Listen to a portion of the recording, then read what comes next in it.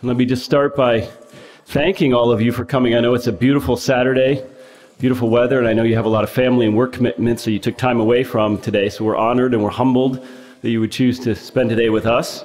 Um, I'm told we have about 19 states represented here today, so we're happy to hear that. We've got um, uh, someone from Mexico as well. Uh, we have 31 students here today on scholarship, so thank you very much for for supporting this. We have, um, and those 31 students represent 19 high schools, universities, and homeschooling groups. So that's that's great to hear. And I think you'll uh, enjoy our topic today. We decided instead of doing something more econ heavy, like we're known for, we talk about the Fed and that sort of thing a lot. We thought we'd we'd mix it up a little bit and talk about political correctness, which is something I, I think is at the uh, forefront of our country today, and it's certainly a virus that infects and affects all of us. So we have two uh, great guests, two Toms, Tom Woods and Tom DiLorenzo, who have both done battle in the trenches of academia and I think are very well qualified to uh, speak today about what's going on. And of course, we have our founder uh, and our chairman, Lew Rockwell. Um, perhaps the, uh, the, one of the best known anti-state intellectuals in the world today speaking as well. Um, I mentioned that you know you took time away from your families in this beautiful weather today, but I, I, suspect I know why you did so because you understand that that something very troubling is going on. That political correctness represents something very evil in our society, and that and that we need to address it. So. I wanted to begin with, with something I noticed recently. Uh, I, I, don't know how it was sent to me, but I saw the uh, filmmaker John Waters uh, he's an he's an sort of an avant-garde filmmaker from Baltimore. I, I like him. Um, kind of an intellectual type. He made some some uh, films that were pretty famous in the in the 70s, especially. So he recently was asked to give a commencement speech at the Rhode Island School of Design in Rhode Island. Now, you think most universities have become very left wing and very PC. Well, you, you can imagine an art and fashion and design school. Okay, fine. You know, the kids are, the kids are very left, correct left. And the baby boomer parents in attendance who presumably footed the bill for this, um, you know, we're all in thrall to John Waters. So he comes up and he proceeds to give the most politically correct speech you can imagine. You know, he's, he's trying to show how cool he is, so he laces his commencement speech with profanity. You know, uh, how original, right? And then he gets into these 60s cliches, the most tired things imaginable, about how these kids should you know, uh, join the system and, and bring it down and this sort of thing, and that they should go out in the world do X, Y, and Z. And then, of course, of course, he goes into the, the uh, obligatory stuff about, and I want you to fight racism and sexism and homophobia, which I'm sure are just absolutely burning issues on the streets of Providence, Rhode Island. You know, what he ought to be telling these kids is, God, you went to an art school, pray for a job. You know, he should, uh, you know, if he wanted to be un-PC, he could have been saying, why don't you mix your art training with something practical like metal fabrication or carpentry work or something where you could be artistic and make a living. But he didn't say any of this. Um, and what struck me about it was throughout the whole commencement speech, he is absolutely convinced that he is still a cultural rebel. He's convinced beyond a shadow of a doubt that there's some, you know, WASP power structure out there that's you know, keeping art students held down from having, you know, their hair the way they want it to be. I mean, it was just, it was just absurd. The lack of self-awareness and the lack of irony in this guy. You know, he, he honestly does not understand that people who think and believe just like him control every institution in this country. They control the state, they control government, they control academia, they control media, they control entertainment, they control big business. And he still imagines himself an outsider, a rebel. And I think PC is so prone to this tendency to this lack of self awareness and this lack of irony. And for us, for people in this room who have a different perspective, I, I find it delicious because it provides a nice target for, for ridicule, and I think it's, it's deserving of ridicule. So, as I mentioned, we do a lot of economics conferences. You might think of the Mises Institute as an organization dedicated to economics, but we're also an organization dedicated to making the most radical case for a free society. And since PC is fundamentally at odds with, with academic freedom and political freedom, I think it's actually a very good topic for our organization to address. And, and we have a, a bit of a pedigree, an anti PC pedigree. Our, our namesake, Mises himself, of course, fought tooth and nail uh, both against the Marxist and Keynesian orthodoxy of his day, but literally against National Socialism. Um, he was forced to flee Austria and, and later flee Europe altogether, come to the US. His apartment was ransacked by the Nazis. And when he did arrive in the US in the 1950s, he was denouncing the what he called pseudo pseudo progressives who controlled US universities by smearing laissez-faire advocates and keeping them out of, of academia by terming them reactionaries. And of course, Murray Rothbard, who was a, a dear friend of, of Lew Rockwell and helped create the Mises Institute, Murray Rothbard was un-PC before the term PC even existed. Okay, and in his, in his academic work, his speeches, his articles, writing was fearlessly honest. And he was, he was very much a modern Mencken. He reveled in showing the, the reality behind official explanations for things, no matter how ugly that reality might be. And in the 1980s and 1990s, he correctly saw that the, the then burgeoning culture of victimhood was actually neo Puritan in its roots and would have this corrosive effect on the American spirit. So, not coincidentally, um, Murray's great protege, Hans Hermann Hoppe, uh, was later purged by PC enforcers from his perch at UNLV. And today, of course, Professor Hoppe is, is uh, a Mises Institute senior fellow and also one of the most radical and un-PC scholars in the world. And so I would like to say that uh, the, the Mises Institute has resistance to DNA, excuse me, resistance to PC woven in our DNA. So I thought uh, that I would like to speak today a bit about what PC is and what it is not. But first, let's talk about what PC is not, at least in its modern version. And then later we can talk a bit about what we might do to fight against it. So to begin with, please understand that political correctness is not about being nice. Okay, it's not simply a social issue. Uh, it's not a subset of the culture wars. It's not about uh, politeness or inclusiveness or etiquette. It's not about being respectful towards your fellow humans or about being sensitive or caring or avoiding hurt feelings and unpleasant slurs. It's not about any of these things, despite, of course, what our progressive friends insist PC is, is really about. And, and as an aside, I'm not just singling out left progressives, there are right progressives too.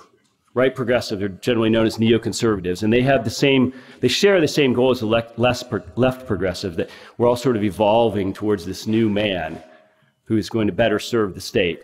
So please don't feel I'm unduly picking on our, on our progressive friends from the left. But I'm sure you've heard this argument. You know, PC is about respect and inclusiveness, they tell us. You know, as though we need the modern left in America, the cultural enforcers to help us understand that we shouldn't call someone retarded or that we shouldn't use the N word or make hurtful comments about someone's physical appearance or encourage bullying. If PC was about kindness and respect, it wouldn't need to be imposed on us, right? After all, we already have a mechanism in society for the social cohesion that PC is said to represent. It's called manners.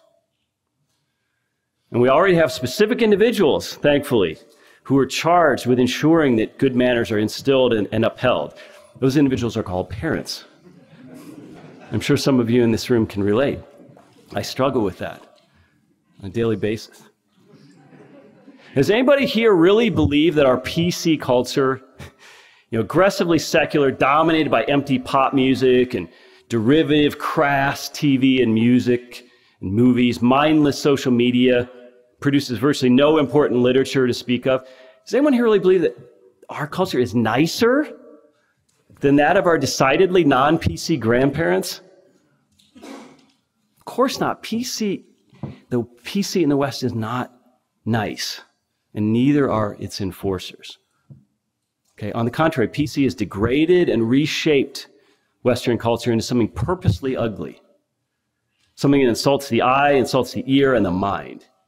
And yet, for all of its lack of personal restraint and emphasis on individual feelings, PC culture is somehow decidedly sterile and conformist. So, no, the PC world that we all live in today is not a nice one because PC is not about being nice. So, it's not about being nice or inclusive. What exactly is PC? Well, I'm going to take a stab. Bear with me. I'm, t- I'm going to take a stab at a, at a definition of it. I'm going to define it as such. Political correctness is the conscious, designed manipulation of language intended to change the way people speak, write, think, feel, and act, all in furtherance of an agenda. Now, that's a mouthful, I understand. But if you put it all together, I think PC is best understood as propaganda. That's how I suggest we approach it and understand it. But unlike ordinary propaganda, which historically has been used by governments to, to win favor for a particular campaign, like a war effort, PC is, is all encompassing. Right? It seeks nothing less than to, to mold us, to reshape us into modern versions of Marx's idea of an unalienated man, freed of all of his social pretensions and, and humdrum social conventions. So, like all propaganda, PC fundamentally is a lie, right? It's about refusing to deal with the underlying nature of reality, and in fact, attempting to alter that reality by legislative or social or cultural fiat. So in PC, A is no longer A. And just recently, the aforementioned uh, Hans Hoppe had a great quote about this. He's talking about the masters, meaning our what I call the state linguistic complex. He says the masters stipulate that aggression, invasion, murder, and war are actually self defense. Whereas self defense is aggression, invasion, murder, and war. Freedom is coercion, and coercion is freedom. Saving and investment are consumption, consumption is saving and investment. Money is paper, and paper is money. Taxes are voluntary payments, and voluntarily paid prices are exploitative taxes. Contracts are no contracts, and no contracts are contracts. Producers are parasites, and parasites are producers. Indeed, what we can see, hear, or otherwise sense does not exist. And that which we cannot see, hear, or otherwise sense does. The normal is a normal. Black is white and white is black, etc. So, in a PC world, as Hoppe sees it, metaphysics, metaphysics is actually diverted and rerouted truth becomes malleable and just truth just serves a bigger purpose, determined, of course, by our superiors. So political correctness means suspending disbelief to advance an agenda that none of us asked for, none of us voted for, none of us sought in the marketplace, and none of us want for our kids. So, PC is nothing new right? When we try to struggle with where did this all come from, it seems to have snuck up on us. How do we get to the point where we can't even speak freely in our own country? Well, PC in all of its various forms is nothing new under the sun. I think we can safely assume that feudal chiefs and kings and emperors and politicians have ever and always wanted to control the language and the thoughts and thus the actions of their subjects.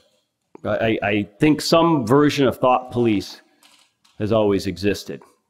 But it is interesting to consider because I think the better we understand political correctness, the better we fight it. And if success has a thousand fathers, then so does modern political correctness. And let's not kid ourselves about the degree to which it is successful. We can judge that by the degree to which it's ingrained in, in the West. So, to understand its origins, we might go back to the aforementioned Marx. We might read or learn about the uh, the uh, historical Frankfurt School of Marxists. We might consider from the right the work of Leo Strauss for his impact on the, this war hungry right wing think tank world that we have. We might study the uh, deceptive, purposely deceptive sloganeering of Saul Alinsky, Hillary's great mentor, in effect.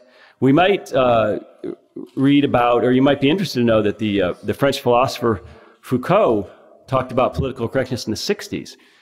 But he talked about it, he used the term political correctness as a criticism because he said so much of what Marxism was is not scientifically correct, it's just based on dogma. So if something's going to be politically correct, it ought to be scientifically correct. And then, of course, moving forward a bit to understand PC, we might look at the new left that emerged in the 1970s, particularly modern feminists and race obsessives um, who, to their credit, at least at the, at the beginning of this term, oftentimes used it ironically amongst themselves. And then if we move forward into the 1990s, we might uh, look to the emergent culture wars of that period when Pat Buchanan had his famous speech at the Republican convention. Uh, right wing writer Dinesh D'Souza wrote a book about PC and really gave it sort of a, a, better shape in its holistic modern sense. Understanding PC as, as a political, legal, cultural, social, psychological, linguistic phenomenon. But I'm going to make my own recommendation. If you really want to understand the black art of PC propaganda, let me suggest someone else to you. One of its foremost practitioners, a man named Edward Bernays. Now, Bernays literally wrote the book on propaganda and its softer incarnation of public relations. Remarkable man. He, he's actually little discussed in the West today, despite being, I think, the godfather of modern spin. And he, he was the nephew of Sigmund Freud. And much like Mises, he was born in Austria in the late 19th centuries. Uh, but unlike Mises, he came to the US fortuitously for him as an infant, about one year old, and then proceeded to live an, another astonishing 103 years until 1995. So the guy had something ticking inside him.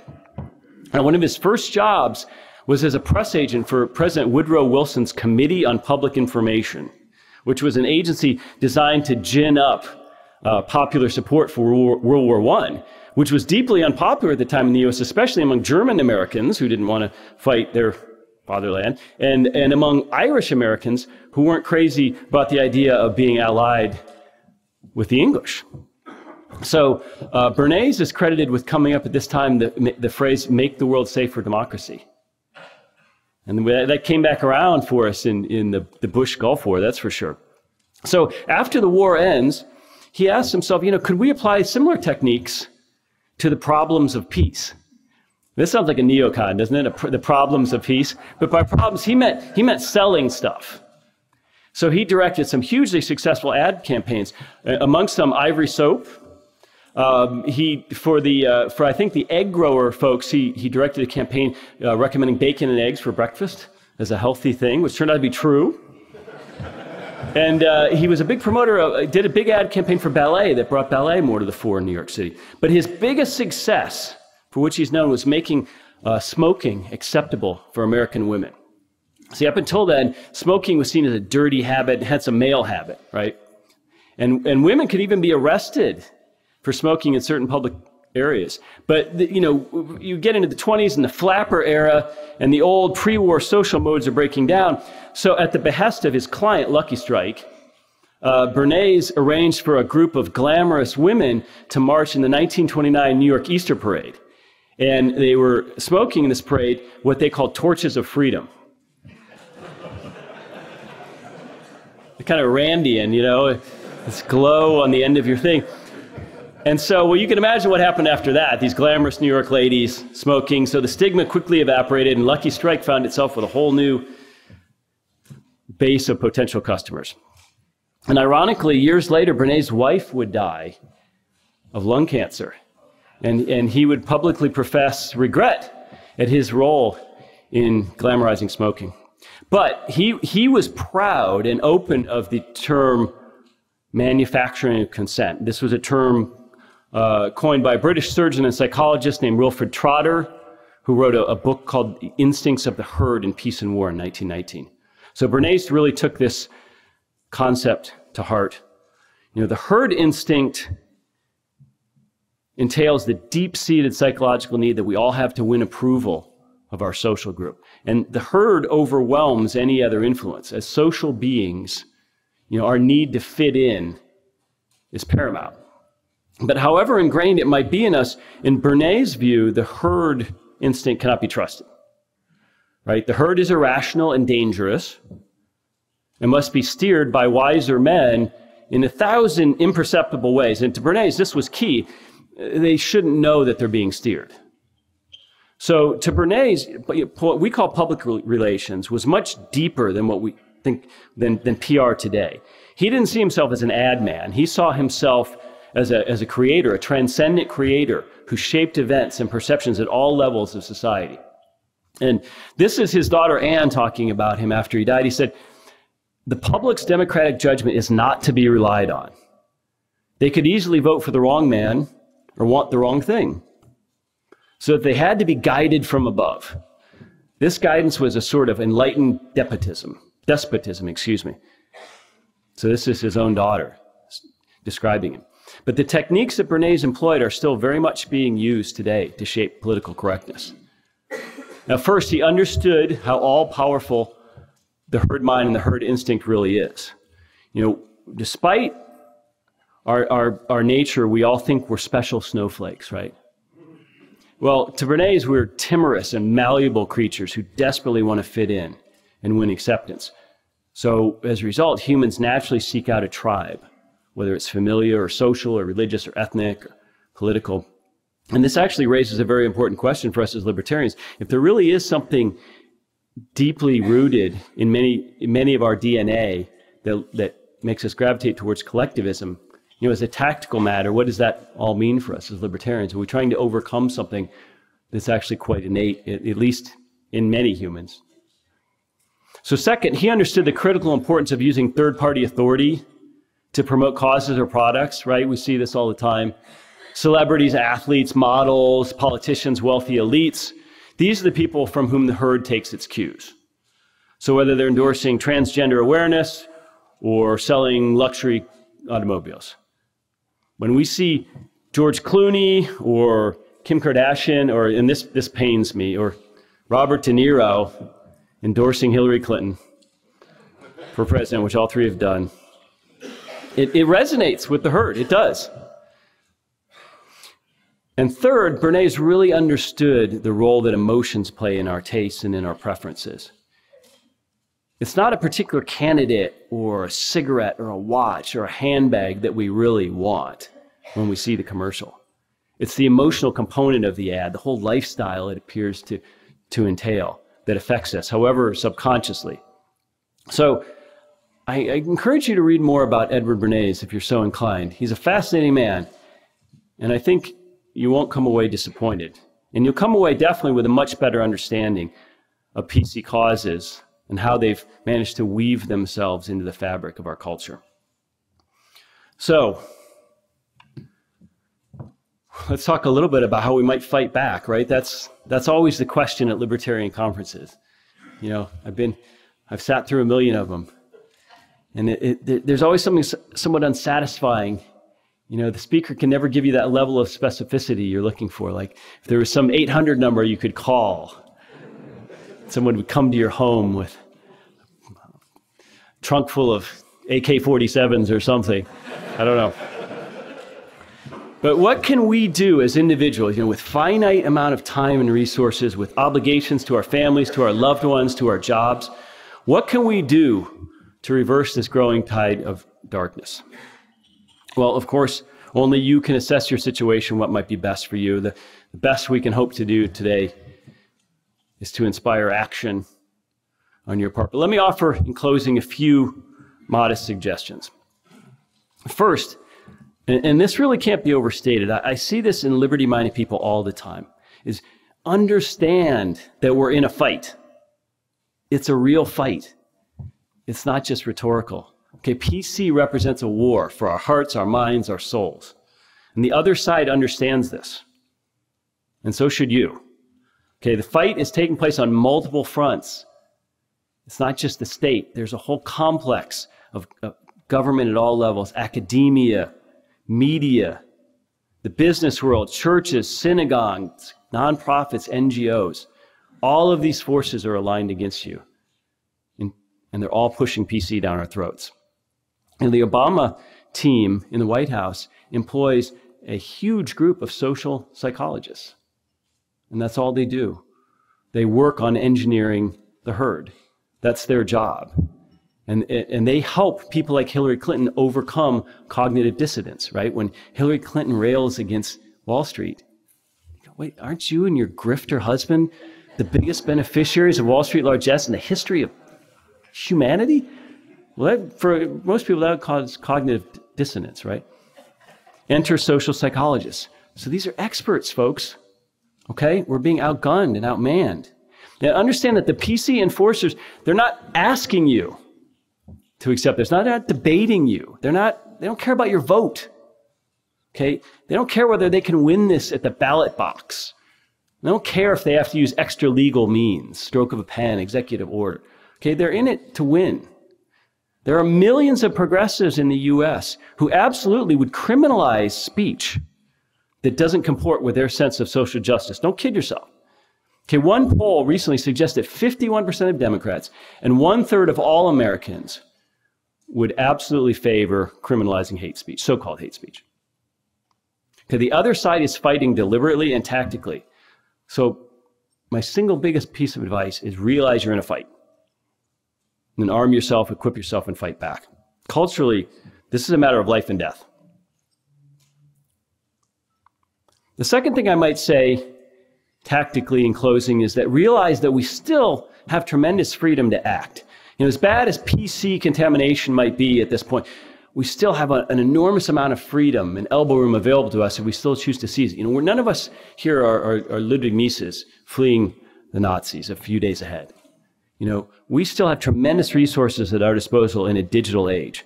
We can communicate globally. We can create communities of outspoken uh, anti-PC voices.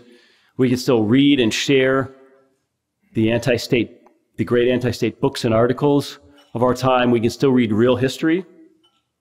We can still read the, the great un-PC literary classics and share them with our kids. We can still homeschool those kids. And we can still, for the moment, hold events like this one today. So just as the state is, is, is really largely an illusion, it's based on maintaining, maintaining its legitimacy in the eyes of the public. We should ask ourselves, you know, have the PC walls really closed in as tight as we think? Or is it us? Have we failed to grab all the room, all the space that's still available to us? And one way I might suggest grabbing that space is to use humor and ridicule against PC. You know, PC is absurd. When you really get down to it, it's absurd. And most people sense this. Most people of goodwill do sense this still. And so it's, it, as I mentioned with, with John Waters, its, its practitioners suffer from this comical lack of self-awareness and irony. So use every tool at your disposal to expose PC in, in, your personal relationships, online, in your family, your friends. We should really steadfastly refuse to bow to it in our personal lives. Fight it wherever and, and whenever and however you can. Spread awareness of how we're being manipulated, because that's really the first step. Now, I'm not saying that this is necessarily easy. You know, bucking PC absolutely can hurt you. The possible loss of one's job, um, reputation, friends, even family. I, this is serious. But I, I don't think defeatism is called for, and I think it makes us unworthy of our ancestors if we succumb to it. Now, also realize that change can actually come very quickly. We tend to think that these things evolve over such a long period of time, but never forget the society can change very rapidly in the wake of certain precipitating events. And, you know, we certainly hope no great calamity befalls the U.S. Uh, economic disaster, a currency collapse, an energy crisis, a dis- disruption in, in entitlement payments, civil unrest, any, anything like that. But we can't discount the possibility of these things happen, happening. And if they do, I would suggest that PC is one of the modern adornments that would be among the first things to go. Okay? Only rich modern societies can afford this luxury of a mindset that doesn't comport with reality.